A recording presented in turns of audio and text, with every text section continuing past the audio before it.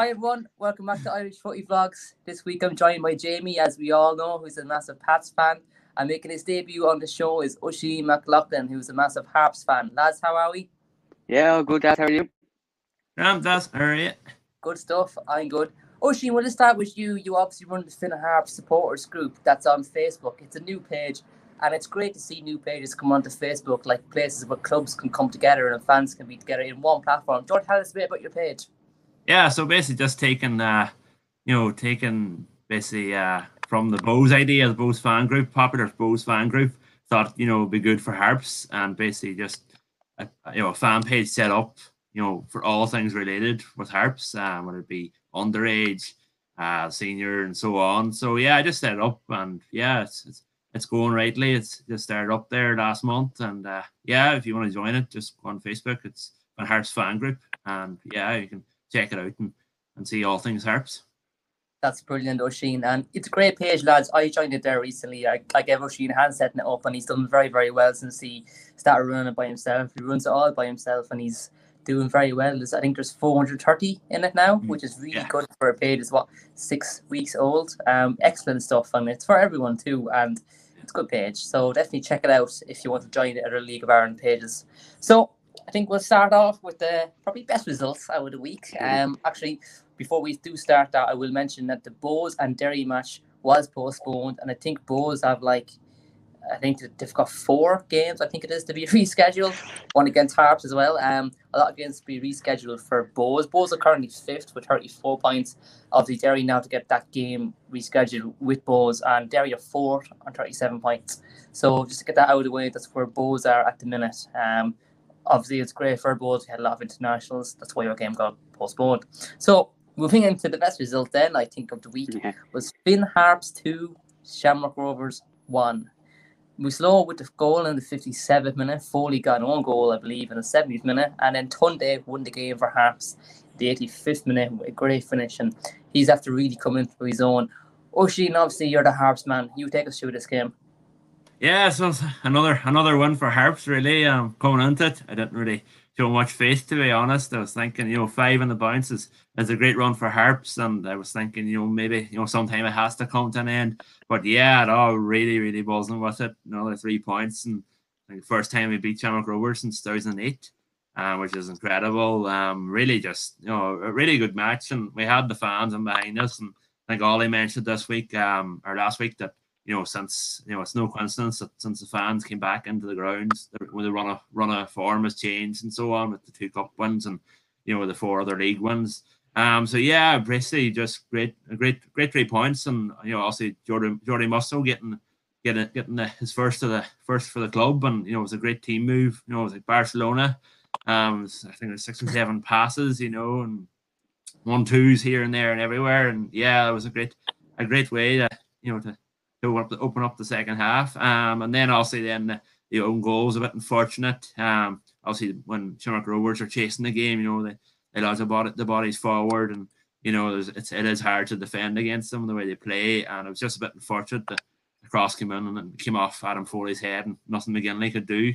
Um, so yeah, it was one all and evenly balanced end for the last you know the last whatever half hour or whatever it was, and yeah, Harps basically just snapped it 85th minute day and another great move down the down the right hand side and and uh, Foley got his got his head on a on a cross and yeah won the game for Harps and yeah it's you know it's it's really it's really incredible yeah.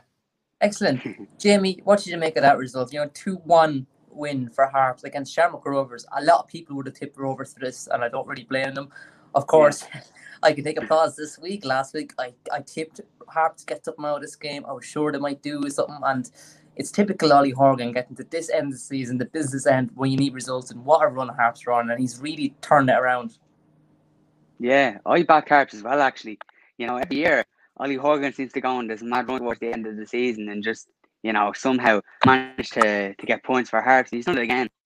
And I think this is probably more impressive than any season, really, because he had a great escape last year, but he started this run maybe five or six games earlier than he would usually. So if Harps can keep this going to the end of the year, suddenly they're very, very safe. And you have to look at other teams in the league to maybe uh, match Finn Harps' form if they want to stay up and stay out of that playoff. But um, the game itself, Um, of course, you have to look at Rovers. They're a bit short at the back, and they had to maybe switch things around a little bit. But that said, credit has to go to Harps. Um, I thought Will Seymour played amazing in the middle. I'm not sure what uh, Ush thinks of him, but he was amazing. Uh, really dictated the midfield, and you know against the Rovers midfield, that's very very hard to do. Um, try to hope it, you know they're brilliant. Adam Foley, I know he got his own goal up and down that line on the right, or when he goes on top, I think he's also been very good this season.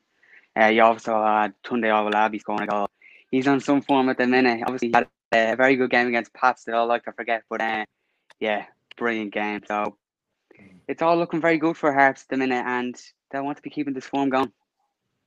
So, Oisín, obviously, you know, like everything Jamie said there is spot on. Mm. Like, you know, Tunde has really come into form of his own at the start of the season. wasn't really, he wasn't really doing much. He was just there. He was kind of lingering around, but as of late, he's really coming to form. He's getting his, you know, he's getting on the goal sheet quite a lot now. Or if he's not getting goals, he's setting one up, and he's he's definitely fitting in that Finn Harps team. What do you make of his season so far? Yeah, well, as you said, he had a, he had a slow start, um, and there's, there's no denying that there. You know, I think he was he was getting into offside positions. You know, you know a, a lot of a lot of the matches, like so, it wasn't really wasn't really working out for him. But he is a handful. You know, he makes himself a handful. He's pacey and you know he gets right into the face of the defenders. Now it has to be said that, that the new new signing for Shamrock Rovers, Cotter, done very well. You know on Friday night to keep him at bay for the majority of the match. But uh, yeah, what on now six goals this season. Obviously the hat trick against against Pats, which we, we can't go without mentioning. You know, and then. Uh, yeah, so yeah, hopefully just continues the form. Um, the way he's playing now, he's playing up top, and Adam Foley's on the right wing. Um, which is yeah a system that seems to be working at the minute although I would like to see the two up top. Um, but yeah, Ollie seems to, as, as Jamie said, pulls it out of the bag at the right times of season. And, you know, it's always said that after the mid-season break, Harps always go on this run. Well, it's good that we have the points from the start of the season, the good start that we had, the 10 points in the four games. And, you know, it's just it's just a matter of hopefully just keeping keeping the run going. Derry in the cup on Friday, Friday night, and then obviously a couple of league matches coming up too. So yeah, it'll be interesting to see how the how the lads get on and hopefully continue to keep the momentum going. Obviously, Jamie Oisín would know about this. Harps were rifled with injuries throughout the season. They had an awful lot of injuries, especially at the back. And I think ever since players like Seymour and McEleney and all of them have come back, I think Harps kind of got the core group of players together and they're showing, I think they're trying, they're starting to show that kind of form they had at the start of the season. Yeah, I think the base for Finn Harps this season has been Sadiki and Webster. I think they've been amazing. They allow the other players to really press on and do all their amazing work. And I think, you know, they really are underappreciated in the league. Sadiki and Webster, as I'm sure Oisín knows, they're both so good. They both really complement each other as well. And I think um, you look at Harps, and, you know, we say all the time, they're very hard. It's a very hard club to um, bring in players you know, all the way up in the Northwest. But, you know, you look at Webster, who obviously got released by Pats and Horgan brings him in. He's been amazing. And Sadiki, I think he was at uh, Hibs, was it Hibs in Scotland? He's come in brilliant again. So that just shows, you know, although the, the group of players that he can maybe attract is um, limited, whoever he does bring in, they're right for the job all the time. He's really got it right this season. And it shows, you know, there's been injuries. Players have stepped in and they've really, you know, stood up to the task and they have Harps in a good spot again this year.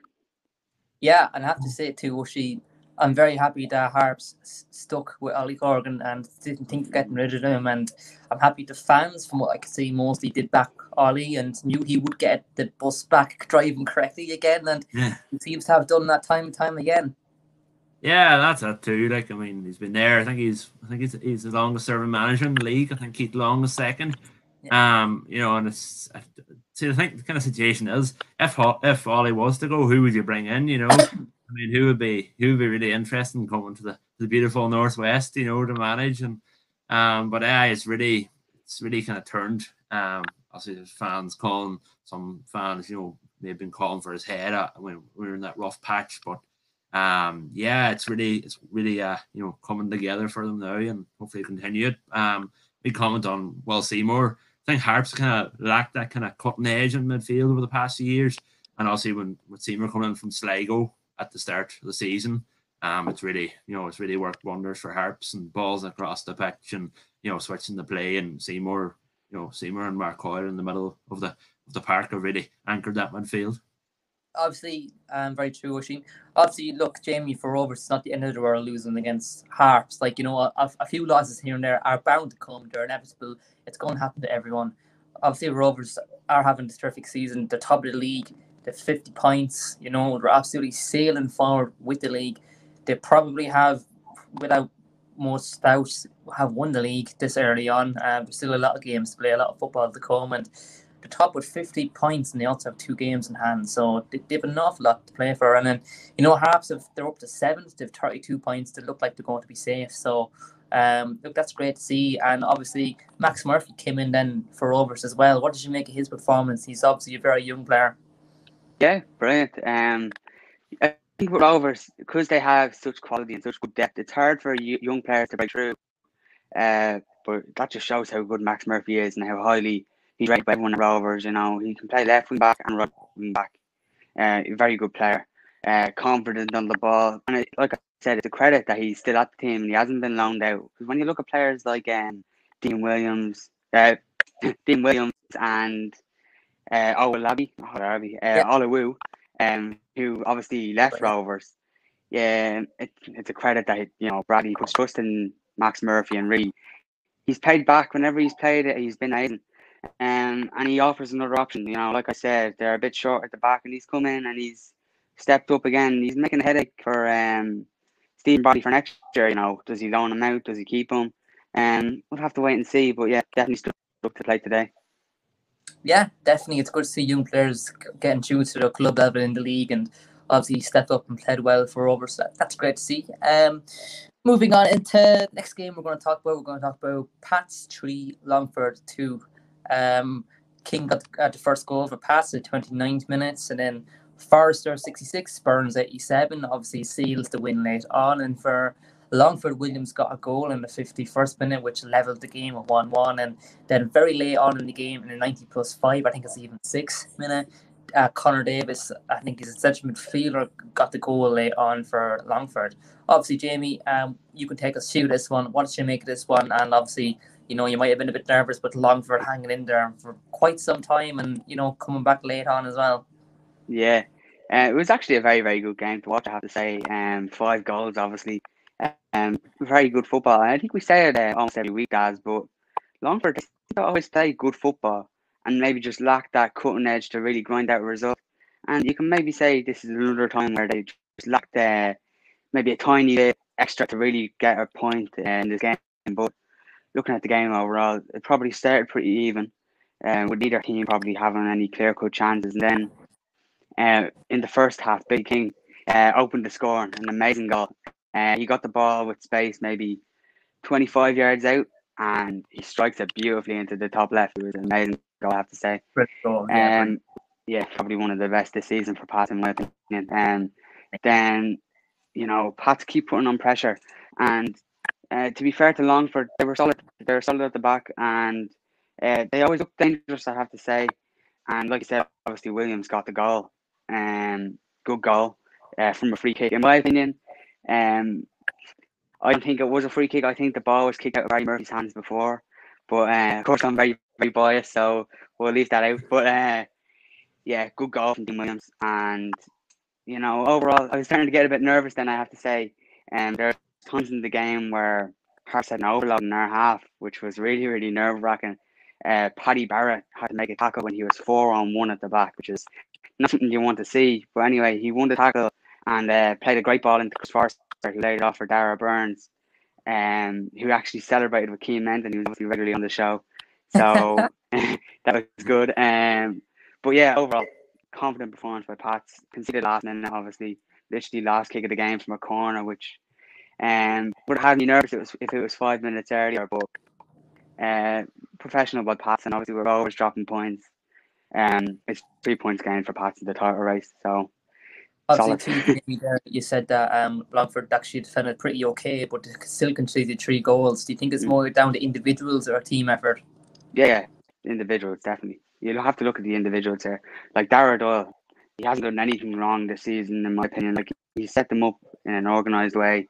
Um, but yeah, it just seems that every time these little errors, whether it be from a set piece or a counter attack, they're really costing them points, and they look like they're down and out now. I have to say.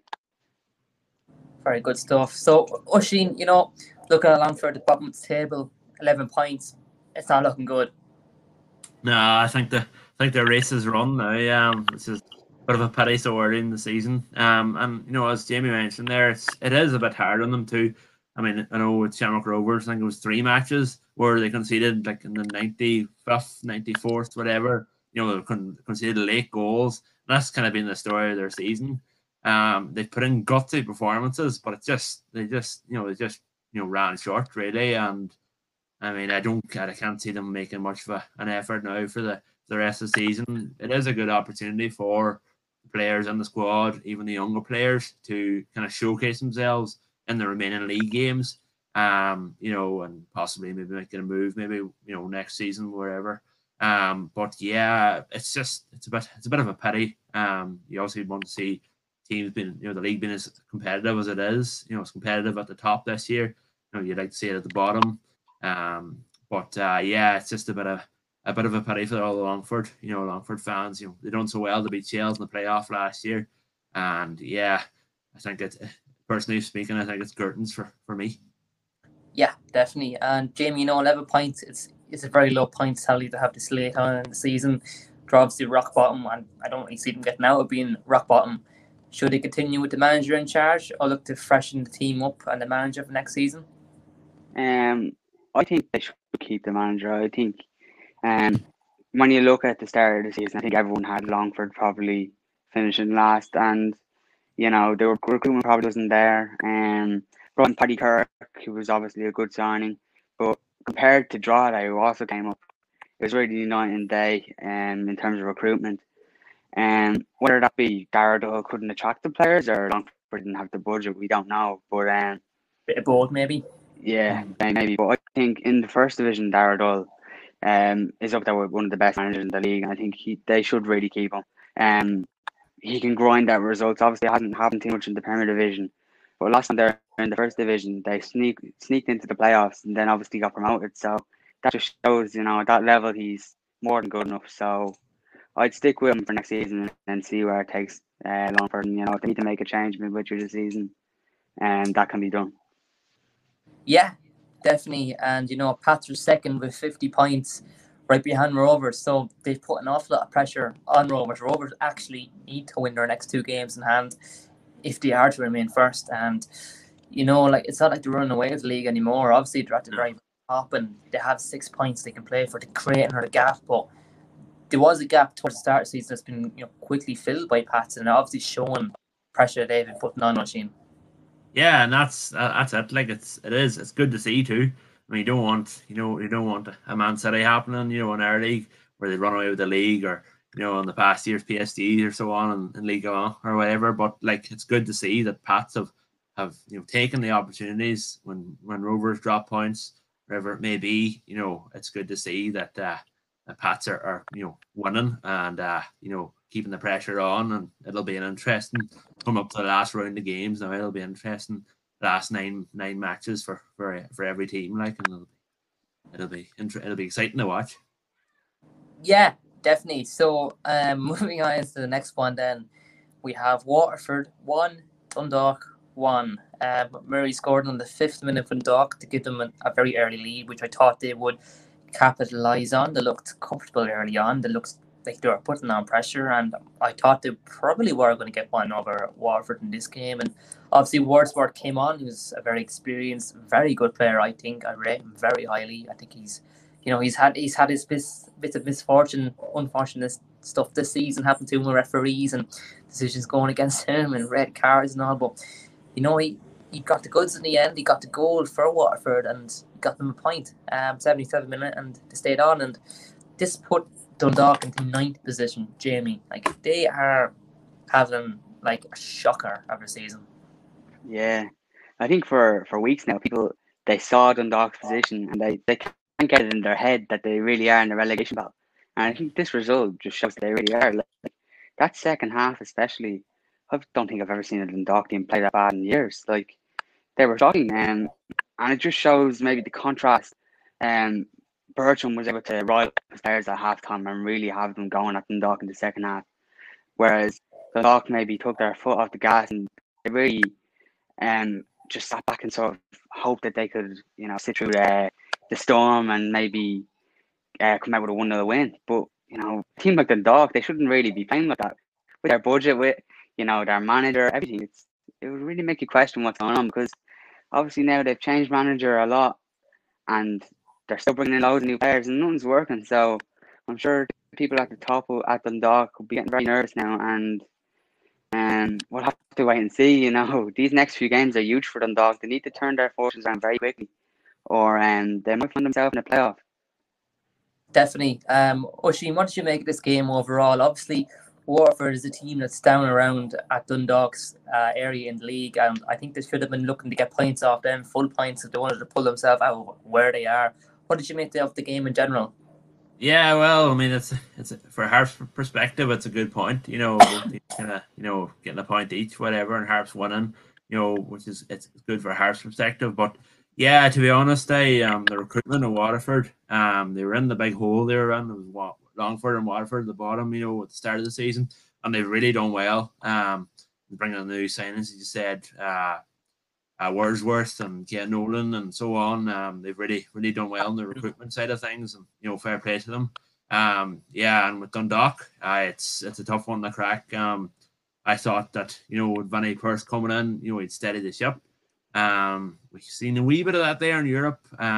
but not really much in the league. And yeah, I, I think it is. It's it's the harsh reality for Dun- for Dundalk fans. They are in a relegation battle. Um, and I can see, personally speaking, I, I can see Waterford getting out of it, you know, or the rather than than Dundalk, you know. Um, I'd say, yeah, Waterford would be disappointed not to not to, to pick up the three points here, considering they've been on a good run, and yeah, they know Dundalk are, are free falling at the minute. So yeah, I'd say I'd say Waterford would be the, the unhappier of the two teams. Jamie, that brings me on to my next point. Has Vinny Perth, in all honesty, made any difference to Dundalk since he's came in. Think of it now, they're ninth position. They're in relegation scrap. They are if Longford had any amount of points, not like more than they have, they'd be fighting down towards the bottom. They're ninth in the league. Like that's shocking. Like them I said it last week. Then Dundalk players should hang their heads in shame. They're a disgrace to Dundalk Football Club. And the fans, I don't blame them. They must be absolutely depressed being a Dundalk fan right now. To go from the heights of where they were to where they are now, obviously it's not just just the manager's fault. Obviously, the recruitment and the board and what have you above them kind of made the situation in a way. Could have went one or two ways. I really tipped not to be doing well this season, and they aren't. But just going back to the point, has Vinny Perth made a difference for Dundalk this season? Um, no, he hasn't, and that's as simple as that, really. But in his defence, he he's not been given the freedom to make a difference you look at the signings, and I still don't think they're really per signings.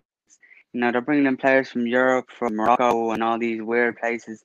And you really just think, you know, is Vinny Perth out here in Morocco looking at players for the other 23s? I don't think so. Um, that's a Bill Hutchner signing. And, you know, you have to think, what the hell? Like Jim Magilton, who's obviously, uh, was it the director of football? Was that his role? He is obviously gone now as well. They have to pay a huge money in his contract. Everything's gone wrong. And you know, back to Vinny Perth. you know, he, he's doing the best that he can, but you know, for a manager that was seen maybe in his first season to be taking on Ryan from Stevie Kenny and trying to keep them levels at the dock, he, he simply hasn't been able to do it. And it was always a tough, tough act to follow. And you see it, you know, very, very often a, a long term manager leaves and they're so struggling. And in all fairness, Vinny Perth, you know, uh, hasn't got the, the backing of the, the board, and obviously that's why he left the first time. So it makes you scratch your head why he maybe came back. But at the end of the day, it was his decision to come back, and he does deserve a lot of blame for having done Dundalk in on. So, no, he didn't make a difference to answer your question, Daz. Jamie, I, I fully agree with you. I completely agree. I, it's very hard to see that to change parts. Mean a lot of Dundalk fans and people in general. I for sure did think this as well that he was going to come in and turn him around. I was I didn't think he was going to turn them back into winners overnight and he beat everyone in the league, but I certainly thought he would make you know some kind of a change or an influence in them where they'd climb up the league and just be comfortable, not be relegation candidates. They'd be competitive in the league, and you'd be worried playing against them and thinking, looking at them most against most teams, you'd be thinking to probably get results. But right now, I think any other team in the league, even even long Waterford, respect to them, would back themselves to either one, give them a, a, good competitive game, or two, beat them. Like you know, I wouldn't really be fearing going up against Dundalk anymore. They're certainly nowhere near the level teams that they were. And Oisín, if you look at you through this team, right, like Abibi and goals, international player. Um, I think his name is Dasgard, centre back, Faroe Isles international player. Mm-hmm. They obviously have um Zaibo, the central midfielder, and MLS All Star, who's, who's on Valencia as well, who's on a report six, seven grand a week. Like, is it a disgrace where they are? Like, what do you yeah. make it? And what do you think? Uh, yeah, I mean, yeah, the words of the Dundalk fans ran like a circus. You know, it's, it basically is that. You have Nattestad, as you mentioned. You know, I think it's Faroe Islands. You have your man Jurkovskis on left back.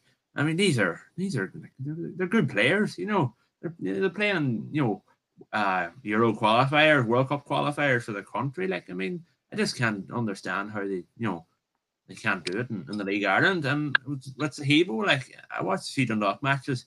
It just looks like he just, you know, he just doesn't want to be there. You know, he's getting, he's sitting there, sitting on a good wage, and he, you know, he just kind of attitude really, his attitude kind of stinks. Really, to be honest, it's just, you know, he's not really bothered to you run after balls and do work for the team. You know, it's a bit, it's a bit, you know, it's a. If I was a Dundalk fan, I'd be really frustrated. And as we've seen, you know, Faker Taff on you know the fan reactions videos on on on the page, you know, and when he like he really angry, so frustrated, you know, and then when they won a game, then he went off the off the head, you know. But like it's just the way it's gone with with Dundalk. It really is hard to believe. It's it's about like you know you could you could make a comparison to Cork City, you know, the the fallen giant, you know, and it's just I don't I don't know. I think the only chance of getting into into Europe or some success this year is to win the cup, but they have to get past Harps, who are in hot in hot form now, and they have to get past them first, um, before you know they can even think of that. So, Jamie, everything Oisín said there is, is spot on. Like I think this Dundalk team, to me anyway, they appear to be a team of individuals. Individually, these players they are good. Like they're not shite. Like they're not bad players. They are good players on good money, but they're just not clicking as a team. And obviously, it's been shown and highlighted throughout the season mistakes, attitude, players not tackling hard enough, not tracking back, no work rate, no desire in the team. There's no fire in the bellies. The players just simply just look like they just don't care. And they're down, they're down ninth. Like you know, I, I still looking at the table, and I just I just can't I just can't believe that they're where they are, and it's just shocking. Like, yeah, it really is, and uh, like what we are saying, you know, didn't play off, and I don't really back any of these players to come together as a team and get a, a win against any of these teams in the first division. Like if you look over the years, um, it's usually the first division team that ends up winning. Obviously, you have a, a few exceptions, like uh, Harps actually being drawn that year before they came up. But um, like momentum is a big thing in football, and when you have a team like a Galway or UCD who are winning loads of games in a row, against a team that are low in confidence like Doc, a team of individuals, like you said, Daz, you know, will they be able to to band together as a team and really, really fight? Because the playoffs are dirty. You know, it's a dirty grind. You have to be for the game. And to be honest, I don't see Dundalk really wanting the grind because you know the you know, none of them have a love for Dundalk. They're there to pick a paycheck, like you said, Daz. And you know, a few lucky ones are going to be able to get out their contracts out and a few others will have to stay for another year, and they'll probably mope around for another year until their contract is out. And that's the simple fact, and it's very sad, but you know, like I can't see any other way about it. To be honest with you. Yeah, like the way that they brought in the players on like, two-year contracts, you know, and they're like the season has just gone, you know, you know, yeah. it's gone really bad for them. It's just, it's really, it's really crazy, like crazy business. And as you said, like uh, you know, the signings came in when Per when Perth came back, you know, you know, definitely not his signings, you know, and there's there's no two ways about it. But uh, yeah, just basically, it's just it's really it's really crazy to you know to, to think of what of the way the way it's all panned out. My next question um for you, Oisín, actually just on Dundalk itself is if you look at Division One, like Shelbourne are running away with that league, they're flying high at the top, they're scoring lots of goals every week. If you look at Treaty United, they're scoring lots of goals every week. If you look at UCD, they're scoring four goals during the week. And then Galway, who are in second, like our full time outfit. They play attacking football. They keep clean sheets and they score lots of goals. Like if you're looking at this, like, do you think you'd back one of them teams to beat Dundalk in the playoff game? Oh, absolutely. Yeah, and the way that the way that, you know the first division's going as well, it's, it's heating up in the playoff places. You know, you've seen Cork going on a run now and so on. I mean, I definitely, de- the way the way the Dundalk are going, you know, definitely over two legs, I could I could see the the, the first division team causing an upset, you know, and, and getting promoted really. Um, in past years, I'll say Harps are really kind of the uh, how would you say it, playoff masters at this stage, you know. Um, rarely rarely losing a playoff match. Um, but if, if it's if it's Dundalk and the way that their season is going, you know, I couldn't I can't put it past the first first division team, whoever it may be. You know, but surely, surely said it's going to go to Jamie Fricklin. Surely, Jamie, you'd have to back Dundalk against a Shelbourne, a Galway, or any of these teams. They're a Premier Division outfit. They're full time. They have players of thousands of euro every week. Surely Dundalk wouldn't lose over two legs to one of these teams in Division One at the top end of the league. Of course, but you you look at the squads. I think you'd say on paper Dundalk would be almost every team in the league, and that hasn't happened. So, you know, it's impossible to say what level they're at. You know, mm-hmm. and the teams around them are beating them, drawing with them. The teams above them are beating them. So we don't know what level they're at. We don't know if these teams in the first division are better than them. Like it's impossible to know. And you know, when we do find out, it might be too late for Dundalk. They might be going into a second leg, uh, one or two nil down. And you know, we can't Dundalk their wage bill. They can't afford that. Dundalk would be struggling as a club if they don't get Europe this year. Could you imagine Dundalk's wage bill and Dundalk's finances if they go into the first division next year with no TV money, with no prize money, with no no chances of anything really. You know, nothing gets shown in the first division if we're being honest. And you know, I'd be very worried if I was a Dundalk. And you have to look, you know, you have to look from the from the youth academy to the the very people at the very very top because you know there's times like this. If Dundalk had a better youth academy, you'd be a bit more optimistic because you know if they do drop down, they have players coming through. But to be honest with you, they don't really uh, have a conveyor belt of talent. To be honest, they usually have to to buy players in, and they're not going to be able to attract players in the first division. Let's just that. um, I suppose Oisín, like you know, looking up like back at Waterford, they made a very like uh, we won't go into too much because we've talked about it a good few times in the show now. They completely changed the form around. Bircham's came in, he did a smash and smash the job. They're banging form. I think it's only like one defeat in six games. Waterford. They've come up the league. They've got a lot of points. They're not like they, they push themselves a, a good bit away from like relegation fears now. They're beating teams around them. They're keeping clean sheets. They're doing everything right, and I think they'll stay up.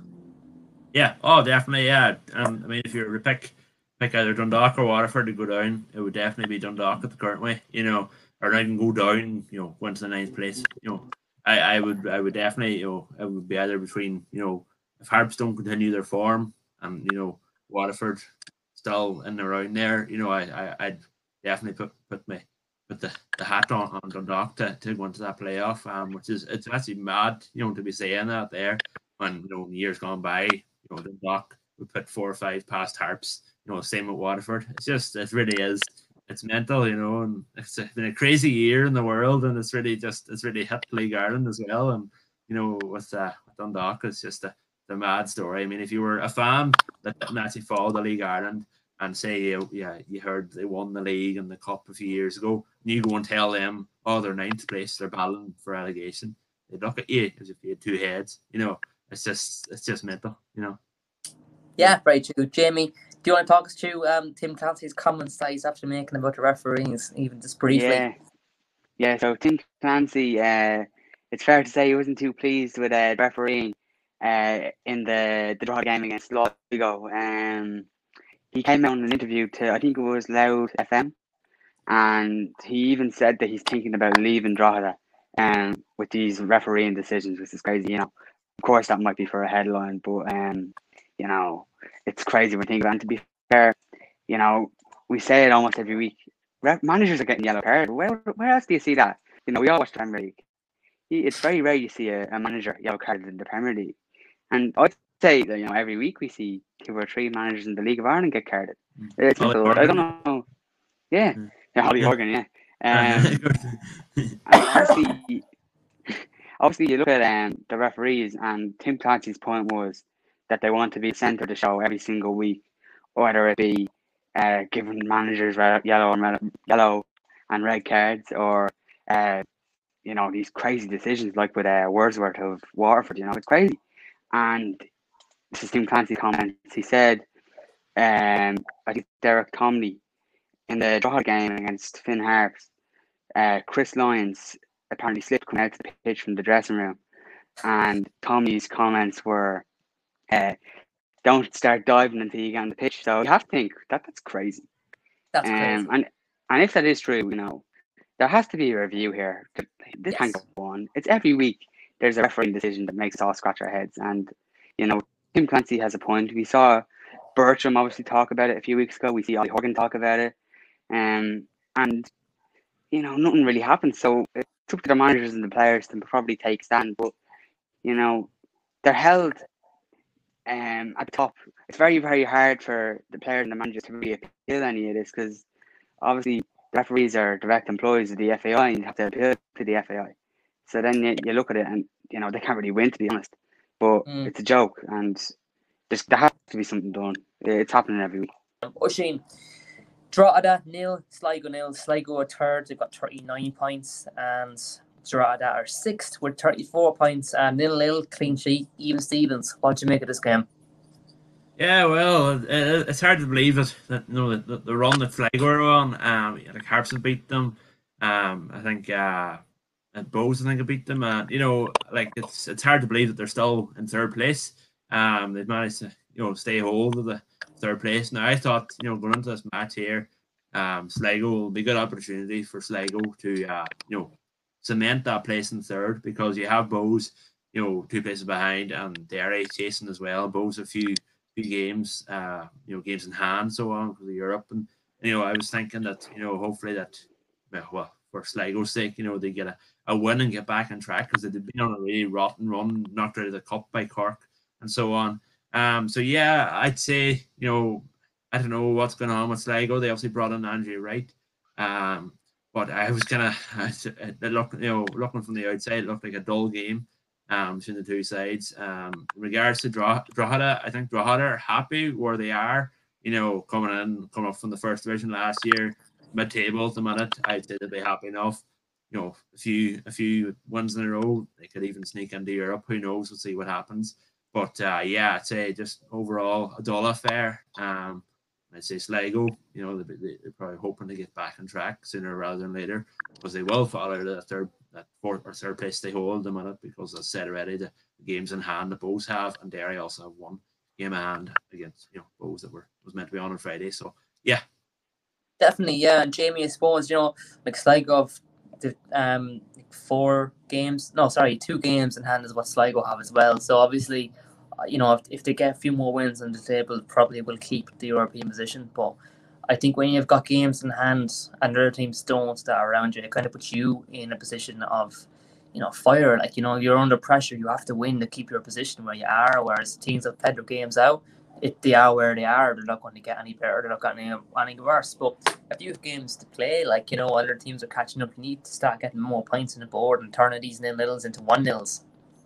Yeah, um, obviously Andre Wright was brought in to score goals, and um, us Sligo fans probably won't want me to say this, but I think Andre Wright almost relies on two really, really good goal scoring wingers.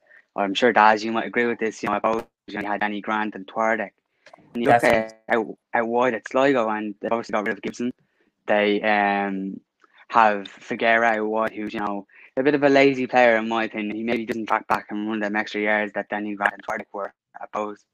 And then um, I've even talked to Sligo fans, and they're saying maybe Romeo Parkes out wide. And for me, that's a no. I wouldn't do that at all. But um, Andre Wright, he needs players to play off, and I don't think they have that at Sligo. And you know, the transfer window is practically over. I can't see them bringing in anyone else. And you know, I'd want to worry uh, where the goals are going to come from. And as well, now another problem, even the bigger problem, in my opinion, is Bolger's out. He's meant to be back now, and he still wasn't back. So you have to look. You know, why did Sligo get rid of Seymour? Seymour's doing a great job at Harps, and he would have slotted in very, very well in the Bolger position right now. I'm sure midfield's too soft. Yeah. oh, But, like, definitely. They have um, Morahan in the middle and Colley in the middle, and they're just not doing it. They're not creating the chances. And we saw in this game against Drogheda, it was a slugfest. Was, you know, you could have sat down, fell asleep, and woke up, and you wouldn't have missed anything. And you know, there's nothing that went on in the game, and you'd expect uh, Sligo being a team that are in Europe to really bring the game to Drogheda, who obviously aren't in the best form outside of one or two good results. But they didn't do it, and Um, it's just you know when Sligo were on a great run, they sort of took their foot off the pedal, and yeah, you need to to get a little bit of something from somewhere. They really want to keep up with the top two, and they can't see happening. To be honest. Definitely, Jamie. Yeah, I suppose like Oisin, I, I think Drogheda and Sligo collectively are both having very good seasons. I think they're both, you know, at a level into the table where probably a lot of people mightn't have tipped them to be where they are. Obviously, Sligo Sligo's third. They're doing very, very well. They're having a great season. Obviously, form's been a bit up and down lately, but ultimately, overall, as a team, they're doing terrific. And Drogheda are only five points behind them, albeit Sligo have games in hand. But as the table presently stands, they are only five points behind them. Their recruitment was smart. They brought in a few good players. They've got a good team, and they're sixth in the table. What brilliant for them. Yeah, that's it. And Drogheda really did do well, you know, before the before the season started. They have a balance. Obviously, brought in Gary Deegan, you know, and the Dan O'Reilly in there, and you know, they brought in kind of a balance of youth and and you know, season pros, like, and they done pretty well um with the side of things. So um yeah, they've if they've they've really uh, you know, personally speaking, they've done very well, and they may may, may have maybe overachieved overachieved really. Um, they're really a tough team to beat in in, in United Park or Head in the Game Park as is known this season. Um, so yeah, no, I'd say they'll be happy where they are. Um, regards to Sligo, is another point. Um, I'm just really, I'd, I'd, if you know, if, if Sligo weren't weren't to pick up a few more wins, you know, I'd be, I'd be worried for for uh, Buckley's job. To be honest, I mean they've lost you know a lot of games now, and you know not through the cup. I mean, or if they didn't start you know getting their act together to keep themselves in Europe, although as you mentioned they do have two games in hand you know they could be people fans could start to call for for buckley's head but you, do, you just don't know see how it pans out I think it'd be very harsh for any fans to be calling for Buckley's head with the job he's done. He's came in, he's got them third. I think they're doing very, very well this season. Um, Jamie Oisin, that was absolutely brilliant. Thanks so much for coming on. Uh, if you're new to channel, please make sure you subscribe. Please like the video and please make sure you check out the Finn Harp supporters group on Facebook. Our Facebook group, like Oisin said, he manages the page. So that was brilliant. Thanks very much, lads. Cheers, Cheers. Cheers, Oisin. Cheers.